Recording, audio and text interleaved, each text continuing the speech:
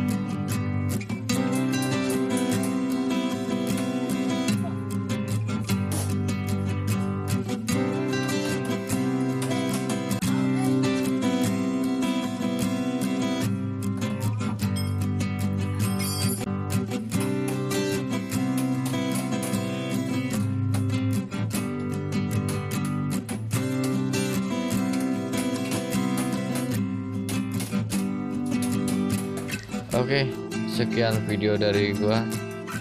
Semoga ini bermanfaat buat kalian semua dan sampai ketemu di video gua berikutnya.